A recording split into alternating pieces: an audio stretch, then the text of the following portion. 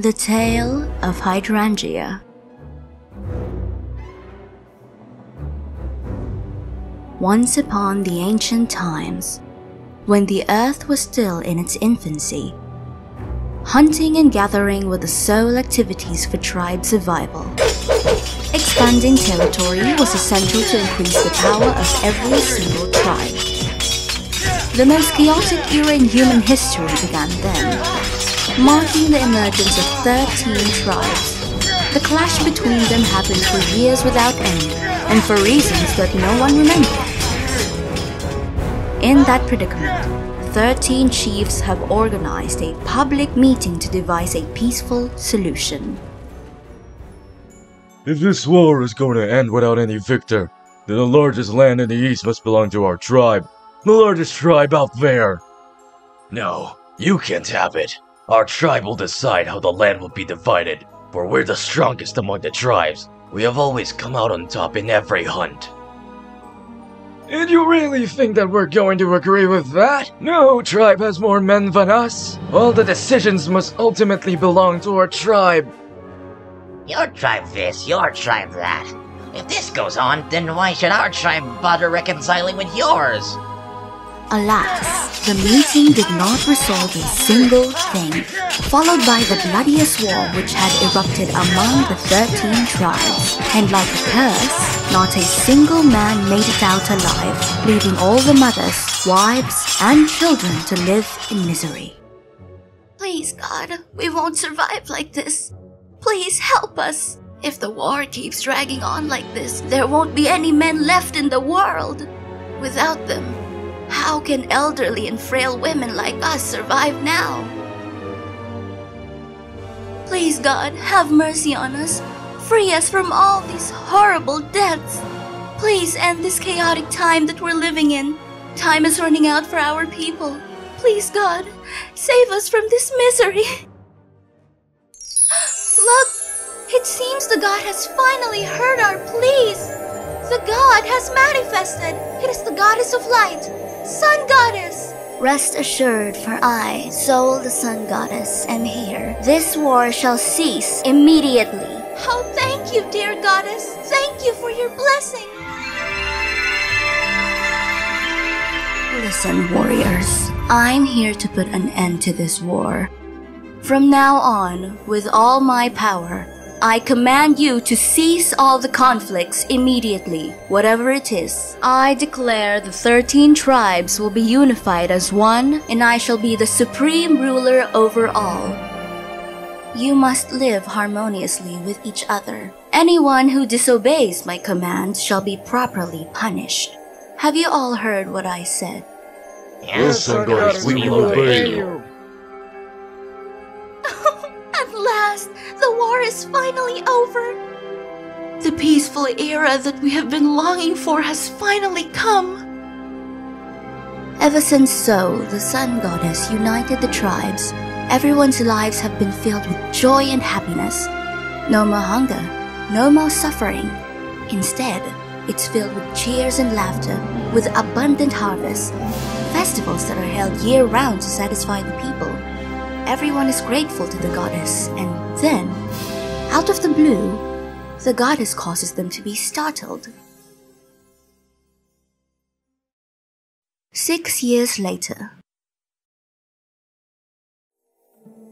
Since the war, I have stayed on Earth for six years. It's about time for me to return. But before I leave, a girl shall be chosen as the Sibyl to take my place in this realm in order to maintain the stability on Earth and to avoid war and misery like before. The Sibyl must be treated with the same respect as if she were me on this Earth. As you wish, my goddess. But dear goddess, but dear goddess, how will a girl be chosen as the next Sibyl? The Sibyl must be a 16 years old virgin who is of pure heart, and she must be one of the most beautiful girls among the tribe. Hmm, a 16 years old virgin and the most beautiful on earth. Who shall have the honor of becoming the Sibyl? let us begin now. Every virgin 16 years old girl present, step forward.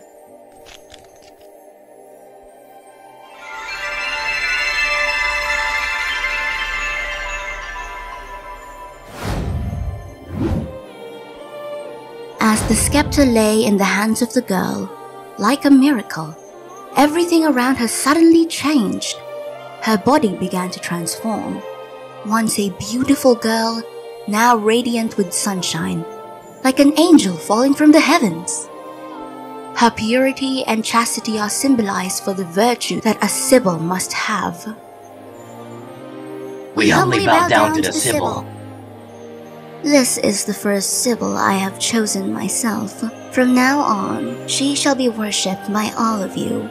But being a Sibyl comes with a price. She must remain at the altar to pray for everyone, and she must not get married nor have children. If she disobeys, the Sibyl will suffer the curse of separation and agonizing torment. Every six years, another Sibyl shall be selected, but everything I have said shall remain.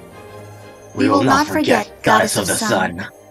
From that moment, every six years, a selection of the next Sibyl will be held. The one ascending to the role will hold all power and be worshipped like the sun goddess herself. Not only that, but upon becoming the Sibyl, girls already beautiful would become even more astonishing and immediately purified. Time passed in a blink. The day of the 127 Sibyl selection soon arrived. The selection of this year's Sibyl. These are the chosen three most beautiful girls from the three tribes. Leah from the Gaia tribe, Julie from the Crimson Top tribe, and Susan from the Great Locks tribe. These are the three candidates. The chosen one is yet to be selected. Therefore, as always, Whoever gets chosen by the scepter will be the chosen one by the god's will. She will be an honor for both her family and the whole tribe. To whoever is chosen, may luck be with you all. All you need to do now is to return and wait for that day. Um, Chief, is it possible for me to withdraw from this event? Huh? Why does she want to withdraw? To become the Sibyl is every girl's dream. Leah, what on earth are you saying? You are a member of our tribe. To become the Sibyl is obligatory. But I. Enough. No buts, Leah. You are not only the pride of your family, but also of our entire tribe. But, but, I. I just want to be an average girl living a normal life. How inconsiderate, Leah. You have become insolent. How dare you look down on the honor that our tribe meant for you? Do you know how many girls desire to be in your position? Then, please, my chief, if this is truly what the others desire, please let them have this esteemed position. Leah, you. You are shameless. You know very well what the goddess had said. A Sibyl must be the purest, most beautiful 16 year old virgin girl in our entire tribe. Does every single member of our tribe mean nothing to you? Of course not. You guys are everything to me. Listen, Leah. If you abandon this position, your family would never be able to live a peaceful, normal life again. Keep that in mind.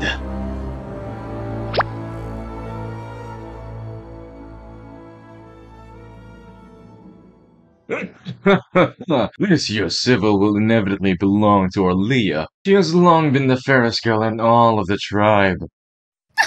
right you are, dear. Our daughter will bring honor to our family and the entire tribe. Father, Mother, is it okay for me not to become the Sibyl? I. I really don't want that position, you see. I love Eric. I want to have a family with him. How? How dare you say such a thing? Don't you remember what the chief has said? Behave yourself. Better not make me lose my temper again. I've had enough of this. From now on, you are not allowed to be in love with anyone. What are you saying? You are going to become the Sibyl. Only then will our tribe become the strongest. You must break up with Eric the moment the scepter chooses you. You won't be able to love anyone. I won't allow it. You shall not have any affairs before the moment comes. Please, mother, father, don't separate us. We have long been deeply in love with each other. We can't live without each other. Father, mother, please. But if I become the Sibyl, I would have to live in the altar forever. I really don't want power.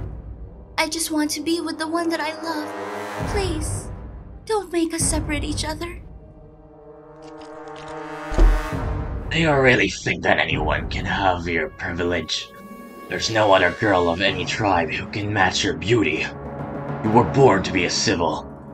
You have to do it for us, for our tribe. No, this isn't fair. We haven't done anything wrong. There's no reason for us to be separated. We will be together forever. Enough. Why are you still standing there? Break them up now. Exile Eric from the village and lock Leah up in a cell. Don't let them ever see each other. Yes, Chief. No. No. Let me go! Let me go! To ensure that everything went well for the Sibyl, Eric was expelled from that village right on that night. Leah was detained and guarded extremely closely, waiting for the day she and the girls from other tribes would compete to become the Sibyl of the Earth. Time flies. The destined day has finally arrived. With a flurry of activity, the girls from various tribes rush to claim the scepter. However, none of them succeeded as the scepter just simply fluttered away. Apparently, the goddess of light was not yet content. Meanwhile, only Leah remained unmoved. The role of the Sibyl didn't interest her. There was only the image of Eric in her heart. The scepter will select the purest girl out there. The most beautiful girl with the most noble soul will bestow its power and be eternally worshipped. Goddess of light, please, please, reject me. Goddess of light, please. Please don't choose the girl I love.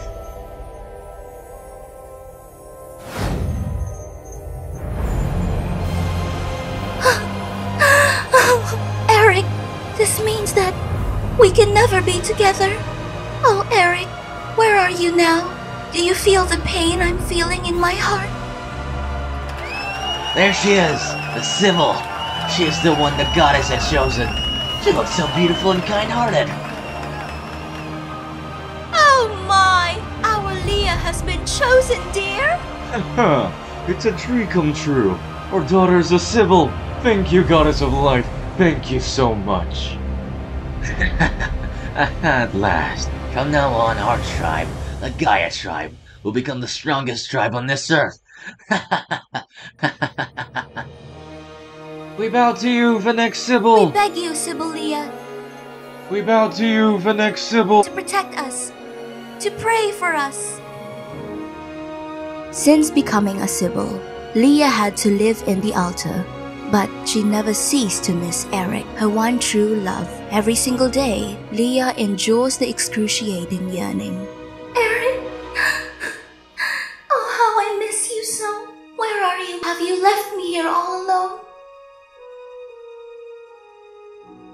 Eric, are you willing to let me live in this altar forever? How can I live without you?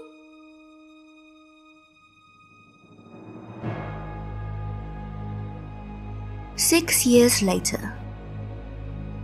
Before we know it, six years have gone by under the reign of Sibyl Leah. The tribes had lived happily, but never once did she feel the same, and no one seemed to care about that. Until one day. Leah. Leah, my love. Eric, are you here? But how did you manage to get in here? I miss you so much, Leah. Oh, so do I, my love. Where have you been all this time? I have tried so many times to sneak into the altar to see you. There are so many guards. I had to stay in the forest for the right moment. We don't have much time. Run with me, Leah. Take me with you. I'm not afraid anymore. I've had enough of this curse. Everything will be alright as long as we're together. For all these years, I've been giving up my youth for the sake of my tribe, but not anymore. Then I will see you here tonight. We will leave then, together. Just as night falls, Eric and Leah hand in hand ran off the altar. They ran through the shadowy forest and continued to run while facing countless dangers. Are you alright, Leah? This is bad. You're badly injured. Let me carry you. The forest trail was dark and treacherous, and Eric had to carry the injured Leah, making their escape all the more challenging. But with the fear of being separated, the young man spared no effort to carry Leah across the forest. Have some water, Leah. Your injury is getting worse. Maybe we should take a rest before continuing. Love, we must go now. The faster the better. They might catch up with us at any moment.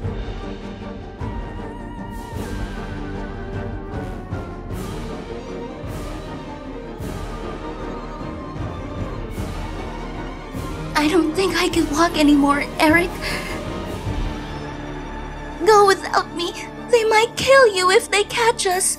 You will be sentenced to death and all because of me. Keep running, Eric. No, I will never leave you again. I've already lost you once. I will not let myself lose you again, no matter what. Here, let me carry you. Stop being so stubborn, Eric. I'm the Sibyl. They won't let anything happen to me. But if they caught you with me now, you you won't survive. Eric, behind you! No! Leah! Leah! Leah! Should have been me! Why? Why did you take that arrow? There's so much blood. You should be in great pain, aren't you? Please! Let this all be just a bad nightmare. Please, God! I don't need anything else! I don't care what happens to me! Please save my Leah! It shouldn't be like this! It can't be like this! Don't leave me, Leah! Run, Eric. Run before they get here. no, no! I won't go anywhere! We're meant to be together! It took us over six years to see each other again. Oh, for six years, how I longed to see you. And our first meeting after six years of suffering is also our last. How ironic. I will die, Eric, and this will be our last moment together. Leah, Leah, stay with me, my love. Please, say something, please. You can't just leave me like this. Talk to me, Leah. Don't scare me like that, Leah. Eric, I have to go now. I don't have enough strength left to say to you these words, but don't worry, my love. I will not let our final moments play out in agony and despair. Leah, you're still alive. You're looking at me, aren't you? Look at me, Leah. Talk to me. I love you, Leah. I will always love you. Leah. Eric, with all my power as the Sibyl, I will use everything I have left to give you one last gift for me, for you, and for our love. I have to leave now, but my death is just a new beginning, so don't hurt too much, will you? Farewell, my one true love. Leo! Are you okay? Leah.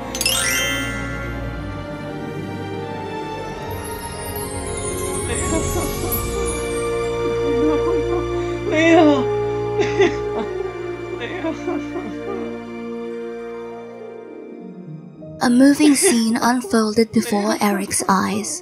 Leah's figure slowly vanishes, but from her ashes, millions of flowers started to bloom, created from smaller flower petals. They resembled a spherical form. The field soon carpeted by its color, pure white. Leah, my love, Leah, Leah.